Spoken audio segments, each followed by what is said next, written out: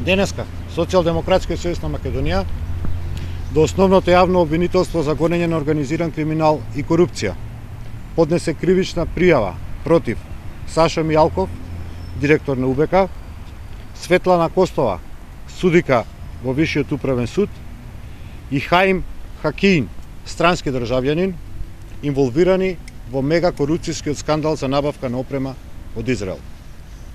Кривичните дела за кои што е поднесена пријавата се примање подкуп, злоупотреба на службена положба и областување, како и кривично дело давање подкуп. Во текот на 2011 година, првоосомничениот Сашо Мијалков преку НН фирма примил провизија од 840.000 евра, 540.000 евра и 200.000 евра како награда за склучување на договор за набавка на опрема по значително повисока цена од реалната. Со тоа, Сашо Мијалков сторил кривично дело примање подкуп и злоупотреба на службената положба и овластување.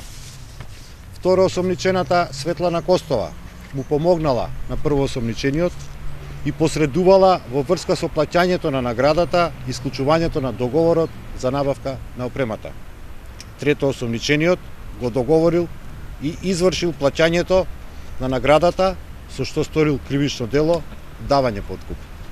Со действијата тројцата осомничени, на тројцата осомничени била нанесена штета на буџетот на Република Македонија од големи размери, која што дополнително ќе треба да се утврди.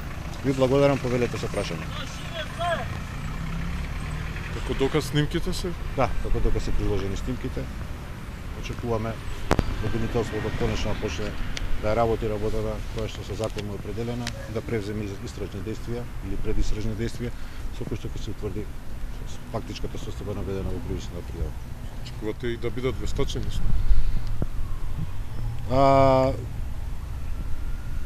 до сегашниот до сегашното поведение на јавното обвинителство на Република Македонија не не храбри. Знаете и сами дека поднесовме сега веќе преку 30 на кривични пријави за побрзани со доказите и материјалите кои што се предмет на објава од страна на Социјалдемократскиот сојуз пред јавноста во Република Македонија согласно правилата и мислењата на Европскиот суд.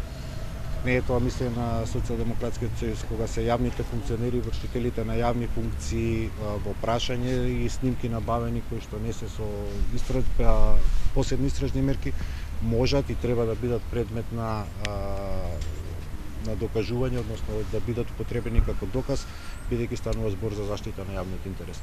Како ќе се постави јавното обвинителство во конкретен случај, тоа до него не е важно.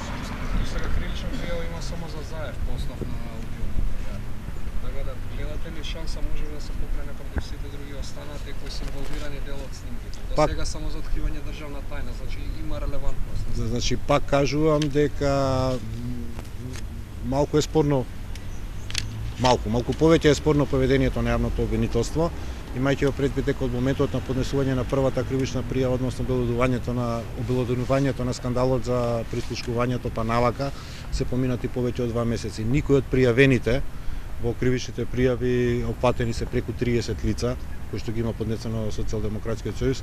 По наши сознанија, мислам дека тоа и на јавности е познато, и вам, не е ниту повикан да даде било каков исказ или било каква изјава пред јавното обвинителство.